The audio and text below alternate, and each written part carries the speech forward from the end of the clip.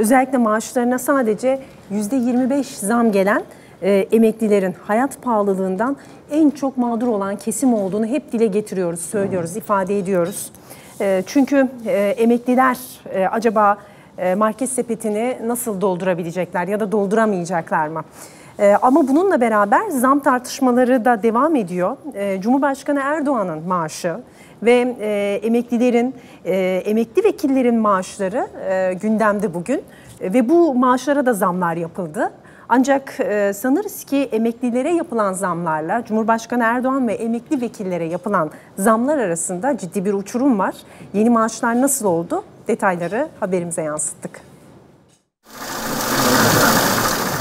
Enflasyonun üzerinde yaptığımız artışlarla emeklilerimizi enflasyona ezdirmeme sözümüzü tutuyoruz. Son günlerin en önemli gündem maddesi maaşlara yapılan zam oranları. İşte bu dönemde Cumhurbaşkanı Erdoğan'ın maaşına da zam yapıldı. Hem de Cumhurbaşkanı'nın kendi imzasıyla.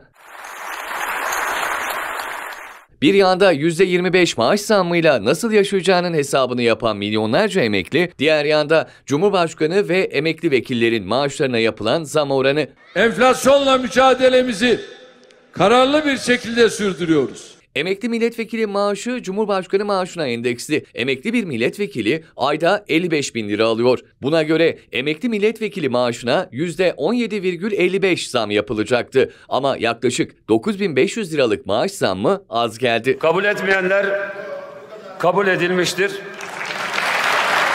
Torba yasa teklifinin Türkiye Büyük Millet Meclisi Plan ve Bütçe Komisyonu'nda görüşülmesi sırasında iki AKP'li milletvekili Orhan Yeğin ve Mehmet Kırkpınar ortak bir önerge verdi. Önerge kabul edildi. Memur maaş katsayısındaki artışın esas alınmasıyla milletvekili emeklilerinin de maaşlarında %25 zam yapılacak. Kabul edilmiştir. Meclise sunulan ek bütçedeki bir başka detayı da CHP Grup Başkanı Özgür Özel paylaştı. Erdoğan'ın maaşına %39 zam yaptığını söyledi Özel. Emeklilerin maaşını sadece %25 oranında arttıran Tayyip Erdoğan getirdiği ek bütçeyle kendi maaşına %39 oranında zam yapıyor. 86 milyon geçim sıkıntısı çekerken Erdoğan kendi imzasıyla maaşını 40 bin lira arttırarak 140 bin liraya yükseltiyor. Böylelikle Erdoğan'ın maaşı 40 bin lira artarak 140 bin liraya yükseldi.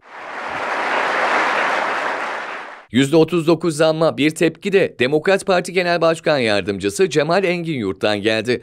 Yarasın ağam diye seslendi Erdoğan'a. Emekliye gelince kaşıkla kendine gelince kepçeyle. Erdoğan kendi maaşına %39 zam yapmış. Yarasın ağam emekli haline şükretsin. Yeter ki sen sıkıntı çekme. Soğan ekmek kime etmez? Saraydan bakmayı